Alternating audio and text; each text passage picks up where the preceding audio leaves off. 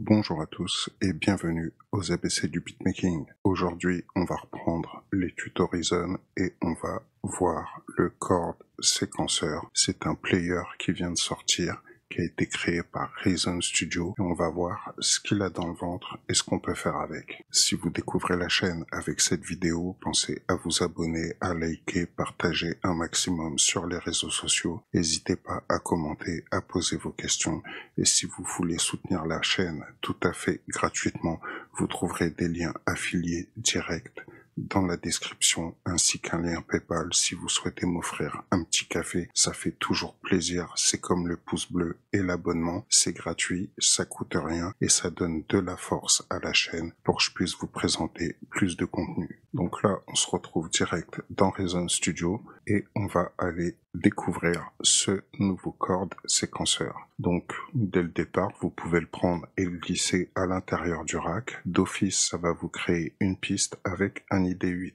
Bien sûr, l'ID8, vous pouvez le changer, que ça soit par un instrument Reason ou même par un VST, ça va fonctionner pareil.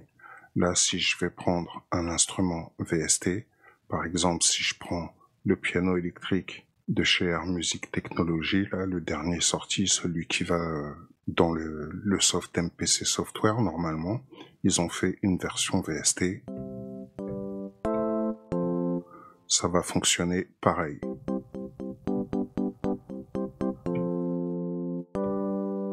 Donc, pour pouvoir jouer comme je viens de le faire avec mon contrôleur MIDI, Ici, pensez bien à sélectionner la petite icône MIDI. Si vous la sélectionnez pas, ça va faire des notes normales, traditionnelles. Donc on va se faire un tour de l'interface. Donc en haut, vous avez le bypass all comme d'habitude, record direct, c'est-à-dire qu'en fait, si vous cliquez sur l'icône record direct, dès que vous allez enregistrer sur votre piste, ça va vous sortir les accords directement et non un conteneur avec une seule note. C'est-à-dire que là, vu qu'on est dans une optique de créer des accords à une note, quand j'appuie sur une note de mon pad, donc qui correspond à mon C, ça joue plusieurs notes en même temps, comme on peut le voir ici dans le piano roll, mais dans le conteneur de mon séquenceur, je n'aurai qu'une seule note. Donc si par exemple j'enregistre une progression d'accords, on va le faire tout de suite. Je vais faire un truc au hasard.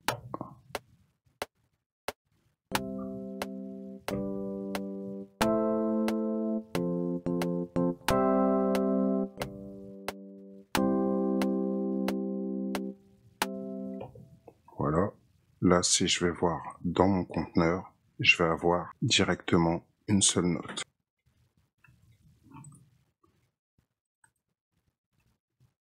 Voilà. Donc ça m'a bien mis qu'une note, même si ça joue des accords. Si je refais la même chose en mettant hop l'option ici direct record,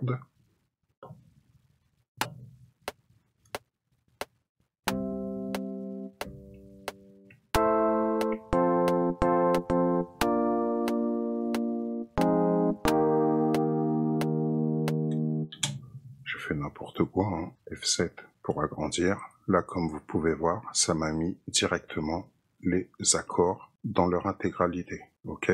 Donc ça, c'est à savoir. Maintenant, je vais supprimer ça. On revient sur le rack. Une fois que vous savez ça, donc vous pouvez choisir soit d'enregistrer avec une seule note ou soit d'enregistrer les accords directs.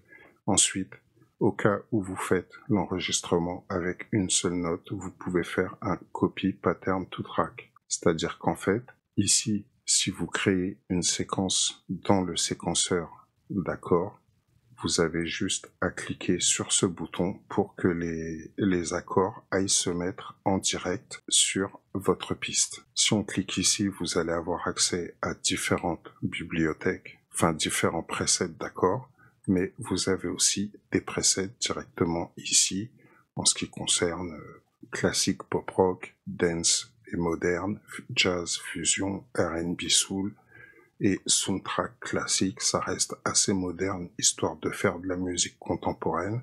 En dessous, vous allez pouvoir déterminer la route note. Ensuite, vous avez la possibilité d'éditer les notes à l'intérieur du conteneur. C'est-à-dire que là, si je clique sur Edit, je peux retirer une note, en rajouter une à côté ou euh, faire ce que j'ai envie. Bref, si je fais Reset, ça m'en remet le réglage d'origine. Et ensuite, j'enlève le Edit et voilà. Le External Trigger. Là, si je fais tabulation, ici vous avez CV Input. Ça va servir lorsque vous voulez que le séquenceur soit commandé par un outil CV extérieur. Le CV Output qu'on a ici, c'est pour pouvoir, par exemple, vous pouvez mettre directement un synthétiseur de basse, vous câblez là le CV Output et en fait ça va vous triguer les notes de basse qui vous correspondent à l'accord. Donc ça, c'est bon à savoir. Si vous voulez un exemple, je vais aller chercher, hop, instrument, je vais prendre le monotone, je le mets ici, je vais prendre le CV, je l'envoie ici sur CV out, je prends le gate, je le mets sur le gate out, et maintenant, quand je vais appuyer, en même temps, je vais changer ça un petit peu. Je me remets sur la piste de mon instrument MIDI, bien sûr. Et dès que je vais jouer mes accords qu'on voit ici, là on entend le son de la basse.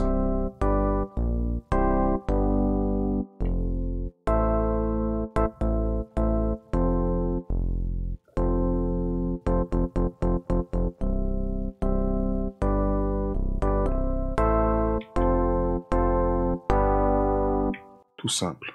Une fois que ça c'est fait, le run et rec Rec, ça va être pour enregistrer grâce à un pad ou un clavier MIDI directement la séquence que vous voulez dans le séquenceur. Et run, ça va le mettre en fonction. Bien sûr, le run va se mettre en fonction directement dès que vous allez mettre le séquenceur en marche. Vous avez la possibilité d'enregistrer jusqu'à 8 patterns.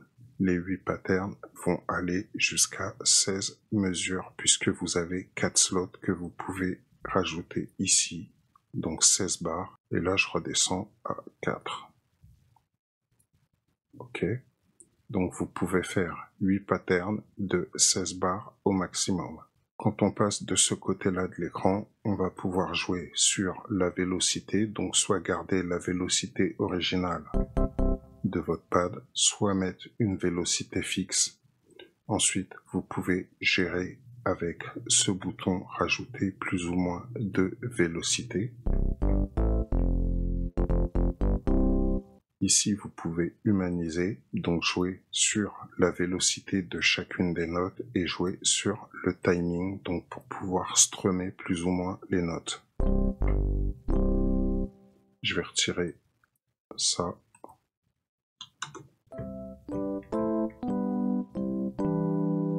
toutes les notes sont pas plaquées en même temps, donc ça fait euh, moins robotique que lorsqu'on est comme ça.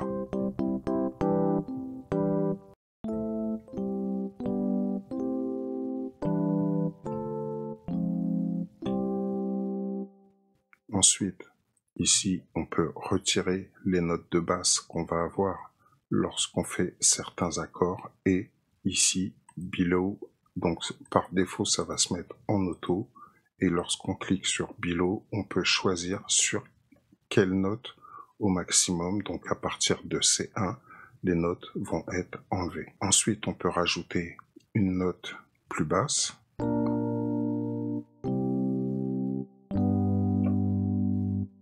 Si je rejoue les mêmes accords sans,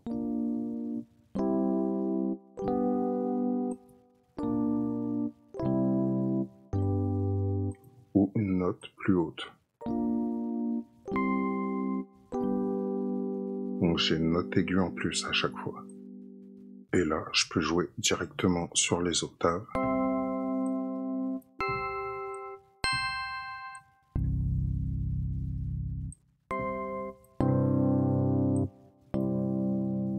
Donc jusque-là, il n'y a rien de compliqué. Maintenant, si vous souhaitez enregistrer une séquence directement dans le step séquenceur qu'on a ici, tout en étant en rythme, je vous conseillerais de mettre vos locators, d'enregistrer directement. Donc je vais me mettre à 0 je vais lancer un enregistrement et en même temps, je vais appuyer sur Rec où vous n'êtes pas obligé en fait. Vous pouvez enregistrer votre séquence, c'est-à-dire faire ça.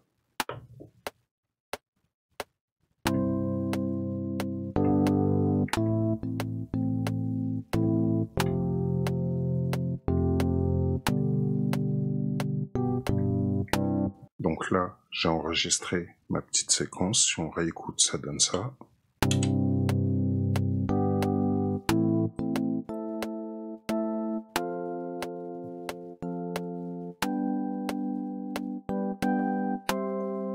Ok. Maintenant, ce que je vais faire, je retire la boucle. Je vais mettre le rec ici.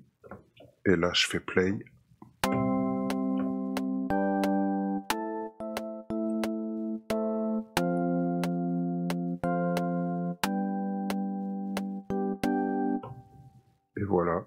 j'ai ma première progression d'accord qui a été enregistrée.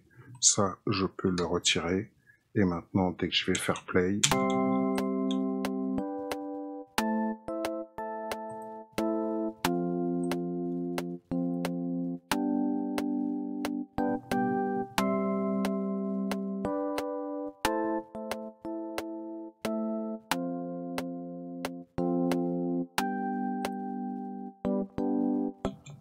ça peut être une façon de faire. Ensuite, une fois que j'ai fait ça, si j'ai envie d'avoir les accords en notes séparées directement sur ma piste, je fais Send to Track.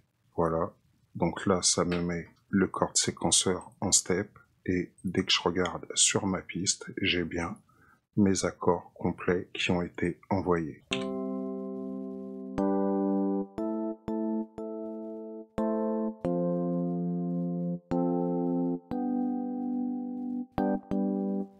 Donc ensuite, je peux modifier mon fichier MIDI, faire ce que je veux. Si j'ai envie de, par exemple, là, je vais me mettre en un 16e. Si je veux faire une coupe comme ça, comme ça, là, je vais venir faire ça. Là, je vais faire ça, là, je vais faire ça.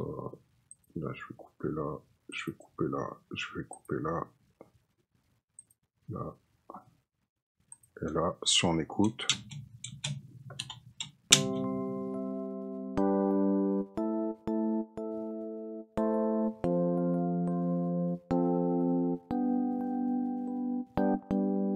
ça me rajoute une petite mélodie en plus. Bref.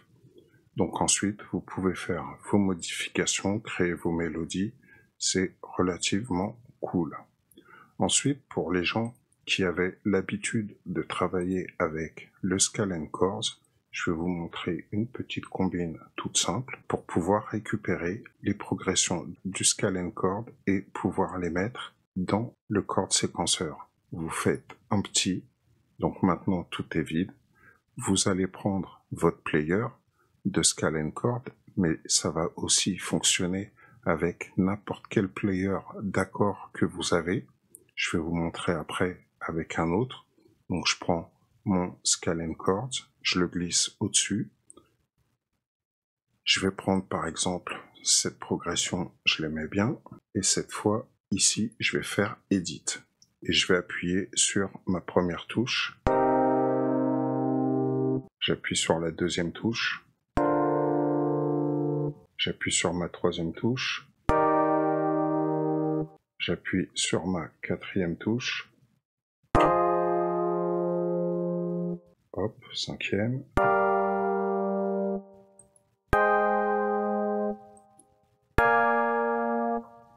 Et voilà, si je retire le edit, je vais avoir directement, donc là, si je supprime le scalen chord,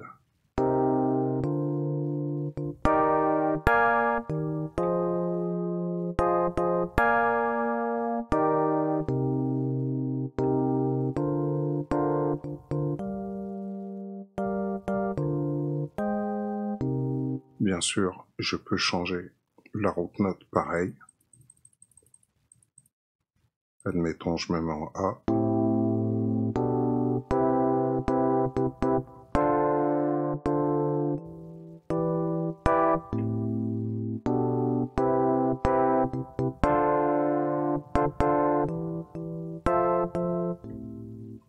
Voilà, tout simple. Là, je refais un petit. Bien sûr, cette progression-là, vous pouvez très bien la sauvegarder. Là, vous faites sauvegarde et vous allez dans le dossier que vous souhaitez, vous lui donnez un nom et ça vous recrée un patch comme j'ai fait ici. J'en ai déjà créé plusieurs où j'ai récupéré des séquences d'accords. Donc là, on a vu comment faire avec le Scalen Chord, mais on peut faire exactement la même chose. Pour ceux, par exemple, qui ont Chordline, vous allez vous le glisser au-dessus. Là, je refais un petit, ça me remet. Je vais choisir une progression d'accords direct ici. Je la glisse à l'intérieur. Voilà. Et maintenant, sur mon clavier, je fais Edit ici. Ensuite, je change.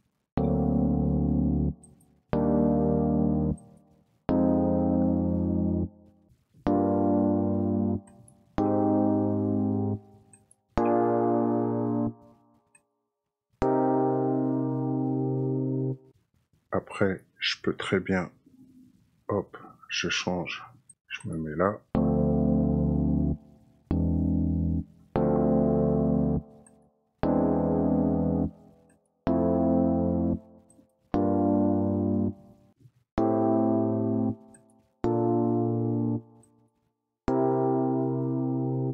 J'en rajoute un petit dernier.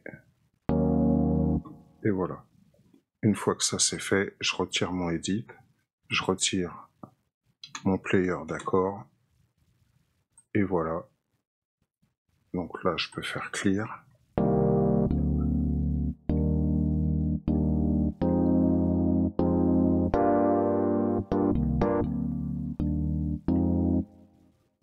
Si je suis trop haut,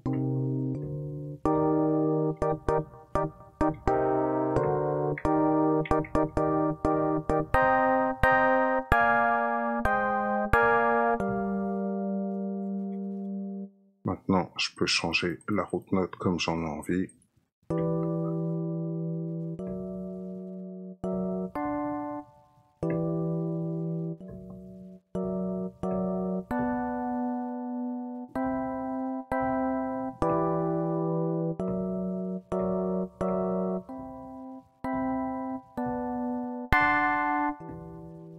Voilà. Donc comme vous voyez, ça reste relativement simple. Ensuite, vous allez vous sauvegarder votre progression d'accord? Donc là, admettons, je l'appelle corde sec 9, enregistré. Et voilà, ma progression d'accord est enregistrée et je peux la rappeler quand j'en ai envie. Qu'est-ce qu'il reste à dire? Ben en gros, voilà, on a fait euh, un petit peu le tour, oui. Donc, quand vous avez une pattern, donc là je suis sur le pattern 1, je vais avoir cette progression d'accord. Si je vais sur le pattern 2, je me retrouve avec une progression complètement vide. Donc pour pouvoir éviter cet inconvénient, ici vous cliquez directement là, vous faites copy chord to pattern 2 et dès que vous allez sur le 2, vous avez de nouveau votre progression d'accord. Ce qui fait que maintenant vous pouvez créer une pattern ici avec la progression et ensuite en créer une autre avec la deuxième euh, pattern que vous avez créé. Maintenant, si on veut voir en contexte ce que ça peut donner, je vais vous montrer un morceau que j'ai fait directement avec le séquenceur. Donc là, voici le morceau que j'avais créé pour tester le chord séquenceur. Et en fait, j'avais créé une pattern 1, une pattern 2 et en fait, dans mon morceau, ce que j'ai fait, j'ai créé une piste pour le chord séquenceur. Donc pour ça, c'est tout simple. Hein. Vous cliquez droit sur le module et vous faites créer une piste. Donc là, moi, elle est déjà créée, donc voilà. Mais sinon, si je mets un module vide, je vais aller tout en bas, je prends un module, je vais dans les players, je glisse mon corps de séquenceur, je clique droit, je fais créer une piste pour corde séquenceur, hop, ensuite sur la piste, je fais créer bande pour pattern et boucle. Ce qui va me permettre ensuite de pouvoir jouer avec les patterns du morceau comme j'ai fait directement dans mon morceau. Si on prend le séquenceur ici, là vous voyez, j'ai mes séquences. Donc cette piste-là, c'est la, la piste du corde séquenceur qui trigue directement mon piano électrique et donc ça va jouer la séquence 2, séquence 3, ça fait un break puisqu'il est vide, séquence 2, séquence 3, séquence 1, séquence 1, séquence 3, donc là tout ça c'est vide, séquence 2, si je mets en lecture, vous allez voir, je vais mettre ces deux-là en solo.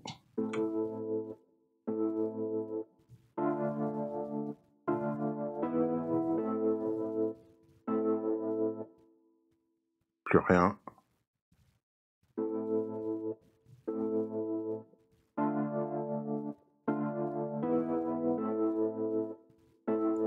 Et là, c'est en train de lire ce qu'il y a ici.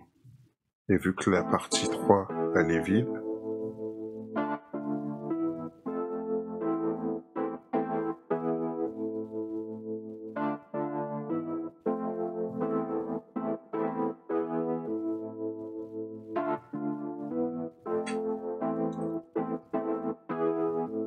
Attention, partie 3.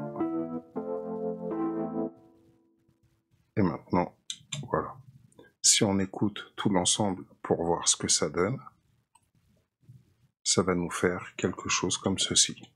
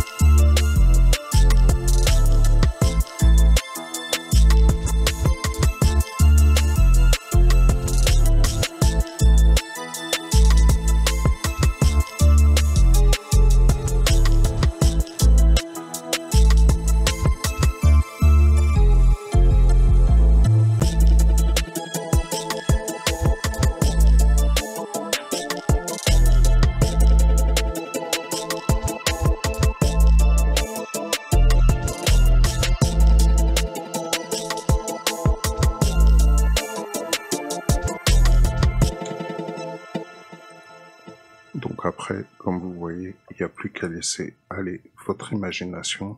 Vous créez vos séquences, vous faites vos enchaînements grâce aux pistes de changement de pattern, comme j'ai fait directement ici, et vous pouvez vous créer des morceaux vraiment stylés. Donc j'espère que cette petite présentation du chord séquenceur, qui pour moi est un des meilleurs players que Reason Studio ait fait, vraiment pratique, vraiment utilisable, vraiment jouable. On peut faire énormément de choses avec.